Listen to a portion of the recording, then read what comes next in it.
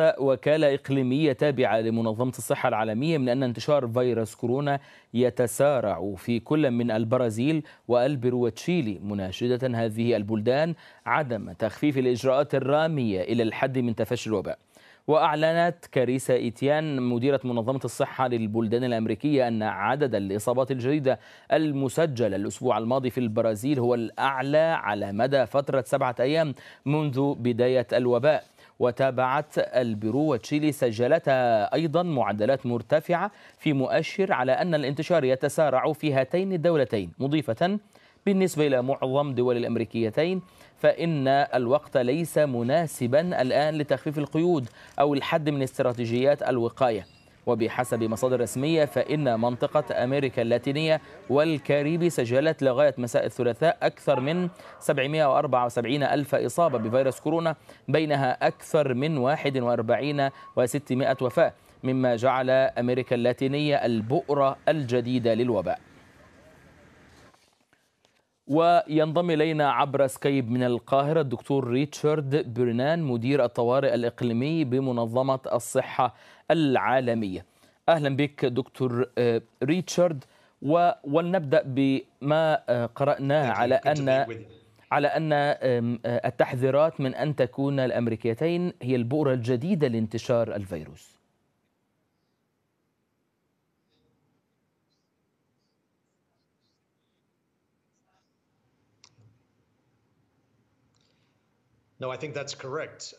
فعلا الأمر صحيح. هذا الفيروس تسارع انتشاره في كافة أنحاء العالم. انطلق من الصين ثم تفشى في آسيا ثم انتقل إلى أوروبا وأمريكا الشمالية. والآن نرى فعلا تفشيه في أمريكا الجنوبية في ظرف أقل من خمسة أشهر. وهذا الانتشار الجغرافي السريع يبين مدى صعوبة السيطرة على هذا الفيروس ولكن هنالك الأدوات المناسبة وإذا ما أمنا الأدوات ونصائح وتوجيهات الخبراء والعلماء فبالإمكان إبطاء هذا التفشي مثل ما حصل في سنغافورة وفي كوريا الجنوبية وكذلك في لبنان وفي الشرق الأوسط. نعم. دكتور ريتشارد يعني الحديث الآن عن فكرة التخوف من وجود طفرة ثانية أو ذروة ثانية لهذا الفيروس. وأمام هذا التحدي أعلنتم أو طالبتم بعدم تخفيف الإجراءات الاحترازية رغم توجه كثير من الدول الآن لهذا الأمر. ما قولكم؟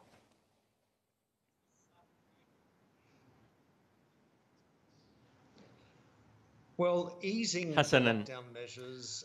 تخفيف القيود والتباعد الاجتماعي يفترض أن يعتمد على الأدلة وعلى التقييم بعض الدول بدأت في التخفيف من هذه القيود بينما الدول الأخرى ترى أنه ليس الوقت المناسب وما تنصح به منظمة الصحة العالمية أن القرارات بخصوص تخفيف هذه القيود وإعادة فتح الأعمال والمدارس وكذلك الخدمات الدينية والتجمعات والسفر هذه القرارات يفترض أن تعتمد على الأدلة وتعتمد كذلك على التوجيهات وتحاليل عدد الإصابات والوفيات.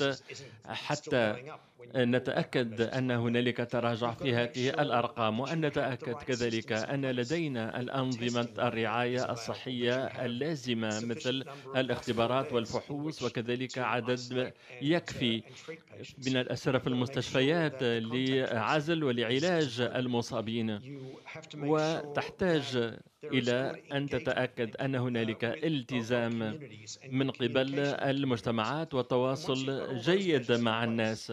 إذا عندما نبدأ لا يمكن بعد أن يبدأ انخفاض هذه الأرقام بإمكانك البدء في تخفيف القيود. وإلا ستتعرض إلى مشاكل وتتوقع ربما ارتفاع ثاني الإصابات. ابقى معنا دكتور ريتشارد لنعرض عليك وعلى السادة المشاهدين هذا التقرير حيث تمر منظمة الصحة العالمية بأكثر المراحل حرجا في تاريخها في ظل اهتزاز الثقة بأدائها جراء طريقة إدارتها لأزمة وباء فيروس كورونا المستجد المسبب لمرض كوفيد 19 الذي اجتاح العالم. ولم تتعرض منظمة الصحة العالمية لانتقادات من الرئيس الأمريكي دونالد ترامب فقط بل وجه لها كثيرون انتقادات حادة على خلفية تعاملها منذ البداية مع جائحة فيروس كورونا المستجد خاصة في ظل تناقض تصريحاتها الطبية والتي جعل مراقبون يرون أنها تضع علامات استفهام على قراراتهم الجديدة. دعونا نتابع.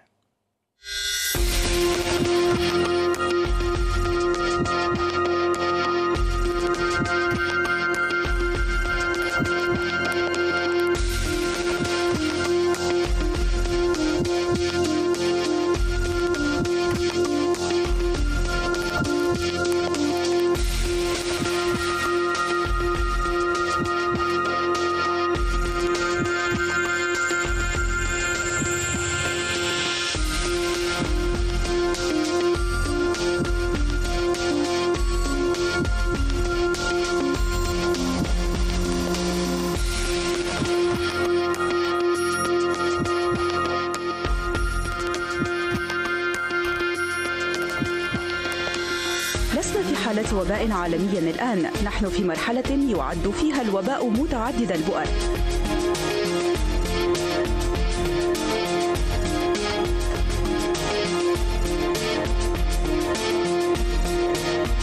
بأن كوفيد 19 يمكن اعتباره وباء والوباء ليست كلمة نستخدمها بسهولة.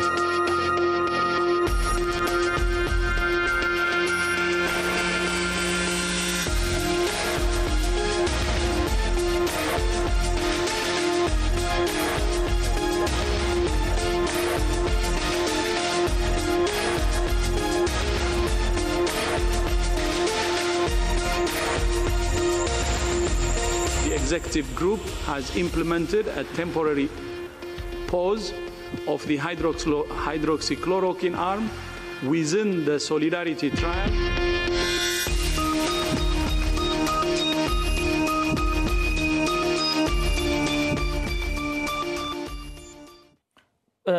دكتور ريتشارد يعني عرضنا عدد من مراه ما ما رآه مراقبون أنها تناقضات بين تصريحات مسؤولين في منظمة الصحة العالمية. نبدأ من العقار هيدروكسيكي كلوركين والتناقض بين تصريحات استخدام هذا العقار وتعليق التعامل به الآن سريريا.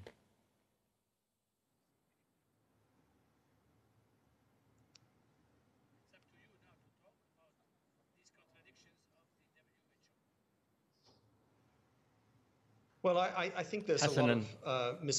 أعتقد أن هنالك سوء فهم بخصوص تصريحات منظمة الصحة العالمية وإدارتها لأزمة كوفيد 19 والبيانات تبين أن منظمة الصحة العالمية كانت سباقة منذ وصول المعلومات بخصوص هذا الفيروس في 31 ديسمبر. و كنا على اتصال حتى قبل تفشي الفيروس منذ اليوم الأول وهنالك الوثائق التي تثبت ذلك. وكان هن وكان هنالك استجابة سريعة وأنا فخور بما قمنا به ويبدو أن البعض لم يفهم ذلك جيدا. إذا لدينا مكاتب في 140 140 مكتب في مختلف الدول تقدم لنا البيانات. وقد وزعنا فرق من الخبراء على 90 دولة لتقديم المساندة. ثم قدمنا الخبرة الفنية لكافة أنحاء العالم لتقديم التوجيهات الصحيحة لمجابهة هذا الفيروس الجديد؟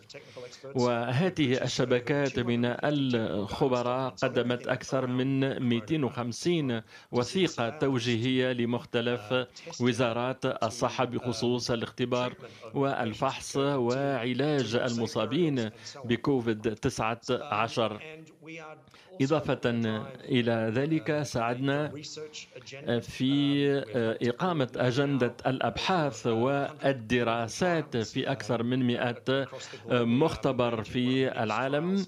ونحن نشرف على أكبر الاختبارات لتقييم فعالية العلاجات المختلفة. وأعتقد أننا ساعدنا في ما يخص المستلزمات الطبية وكذلك أحزمة الاختبار وكذلك أجهزة التنفس الصناعية لأكثر من 120 دولة. أعتقد أن هذه المراحل الأساسية التي اتخذتها المنظمة لم ساء فهمها ربما. ولم تستحق التقدير اللازم فيما يخص الاستجابة. وأنا أشعر بفخر كبير بطريقة إدارة الأزمة من قبل منظمة الصحة العالمية لا ننسى أن تفشي هذا الفيروس. كان سريعا جدا. وكنا نبلغ أول بأول كل التوجيهات والمخططات اللازمة وما سمعناه في الجمعية العامة لمنظمة الصحة العالمية الأسبوع الماضي وإشادة كل أعضاء المنظمة بطريقة إدارة المنظمة للجائحة فكانت التعليقات كلها إيجابية. فيما يخص دور وقيادة منظمة الصحة العالمية لهذه الجائحة. دكتور ريتشارد يعني ما تقول يعبر عن جهود كبيرة تقوم بها منظمة الصحة العالمية لكن ما أعرضه عليك هو تصريحات تناقضت من مسؤولين في منظمة الصحة وسأضرب لك أمثلة وربما هذه الأمثلة توضح وجهة النظر في فيما يراه مراقبون أنه تناقض وتضارب لمسؤولين في منظمة الصحة العالمية. مثلا فكرة لبس الكمامة. قيل في بداية في بداية الجائحة أنه لا ينبغي على غير المريض أن يلبس أن يرتدي هذه هذا الماسك أو هذه الكمامة. بعد ذلك الآن أصبح لزاما على الجميع أن يرتدي هذه الكمامة. هذه هذه واحدة. أيضا الحديث على أن المصاب بغير أعراض غير معدي. قيل هذا في بداية الحديث عن جائحة كورونا. الآن تراجعت المنظمة وقالت لا أن كل من يحمل الفيروس هو معدي كيف نقرأ هذا التناقض؟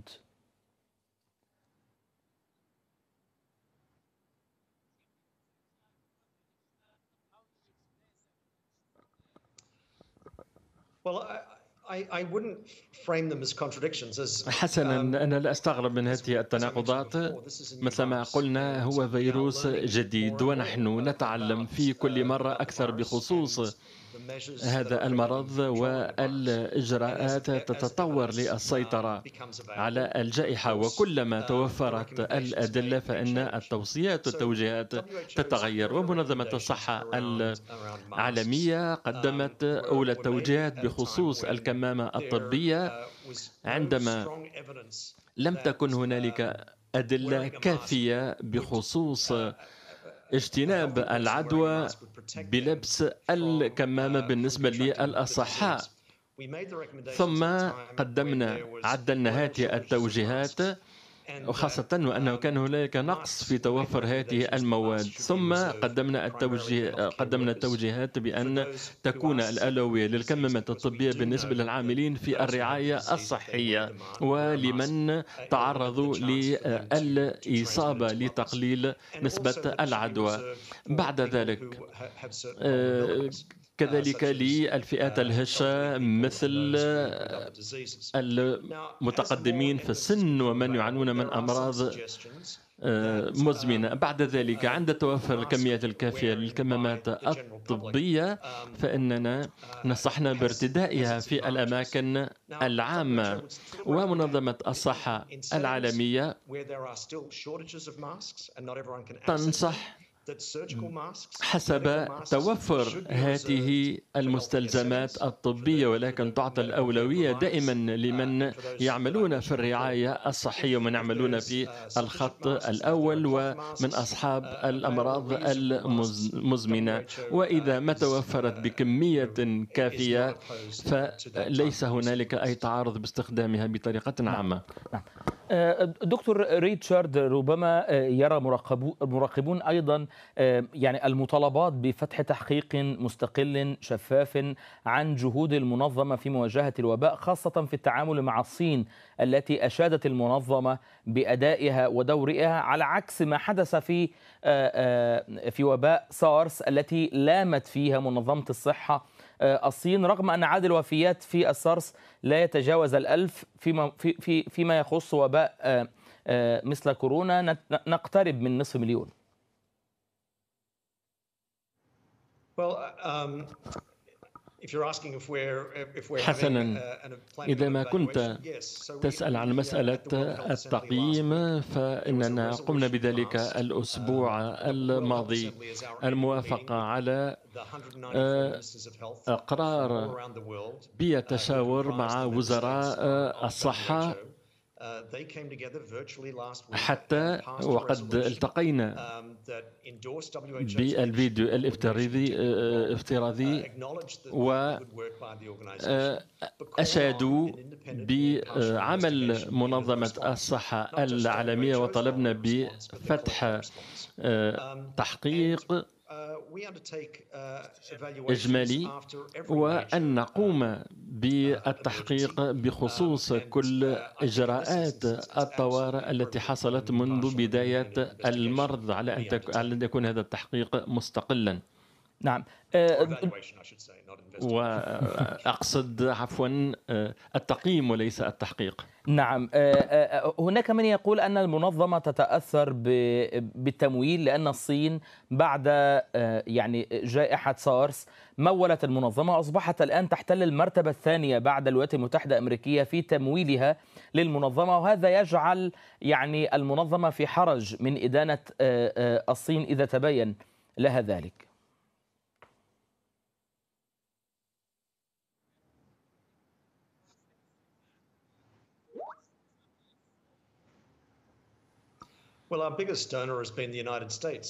حسنا أكثر الممولون هو الولايات المتحدة. ولم يتهمنا أحد بالتأثر بالولايات المتحدة وللأسف الشديد كان هنالك تسييس أكثر من اللزوم لهذه القضية أثناء الجائحة. وكان هنالك العديد من الاتهامات غير الصحيحة غير الدقيقة. وكان هنالك العديد من مثل هذه الإشكالات في الاستجابة لحالات صحية طارئة سابقة.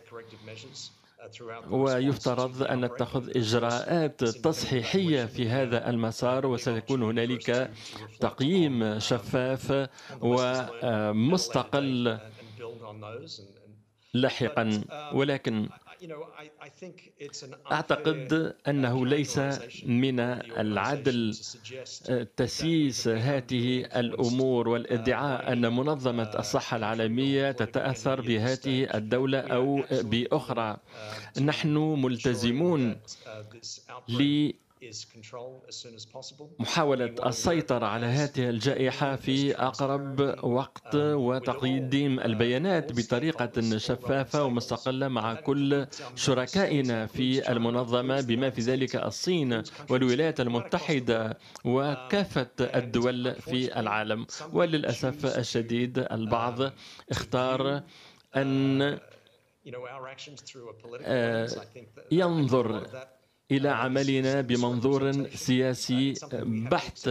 وعلينا أن نقبل هذا الانتقاد وأن نواصل عملنا لمساعدة الدول لتقديم الرعاية الصحية اللازمة لحماية مواطنيهم وخاصة الأكثر هشاشة. والأرقام تبين أننا ساندنا هذه الدول وقمنا بواجبنا. هنالك دائما نقائص لا يوجد هنالك كمال ولكن أعتقد أننا نتقدم في عملنا.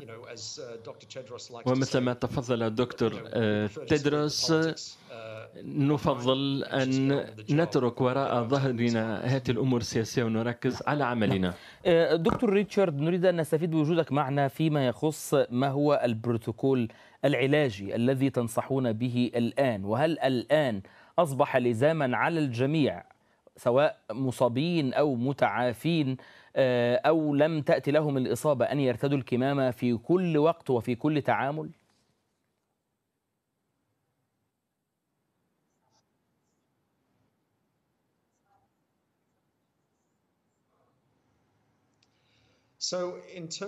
نعم بخصوص العلاجات هذا المرض سببه فيروس ليس لديه علاج نهائي في الوقت الحالي. ذلك ينطبق على كوفيد 19 ومنظمة الصحة العالمية تعمل مع شبكة الخبراء والعلماء بخصوص التجارب السريرية لتحديد العلاجات المناسبة ضد كوفيد 19 وفي الوقت الحالي منظمة الصحة العالمية تشرف على هذه الاختبارات على ثلاث علاجات أساسية وهنالك دول مشاركة. في هذه ثلاثة دول مشاركة أكثر من 30 عفوا دولة مشاركة بما في ذلك الكلوروكين واعتمادا على الدراسة الأخيرة منذ بضعة أيام. إذا أوقفنا هذه التجارب مؤقتا فيما يخص هيدروكس كلوروكين ولكن لا زلنا ندرس ثلاث علاجات حتى نقف على فعاليتها ضد كوفيد 19 وربما قد نتوصل إلى نتائج في الأشهر القادمة. ليس لدينا علاج نهائي حاليا.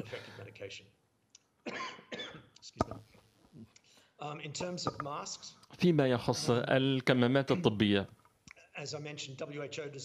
مثل ما قلنا ليس هنالك توجيهات بهذا الخصوص. ومثل ما قلنا الأولوية تعطى لارتداء الكمامات بالنسبة لمن يعملون في الخط الأول من الرعاية الصحية. وكذلك من لديهم هشاشة صحية. إذا ما كانت الكمامات متوفرة فإن منظمة الصحة العالمية لا تعارض استخدامها في الأماكن العامة. أشكرك شكرا جزيلا دكتور ريتشارد برينان مدير الطوارئ الإقليمي بمنظمة الصحة العالمية. كنت معنا عبر سكايب من القاهرة. شكرا جزيلا لك.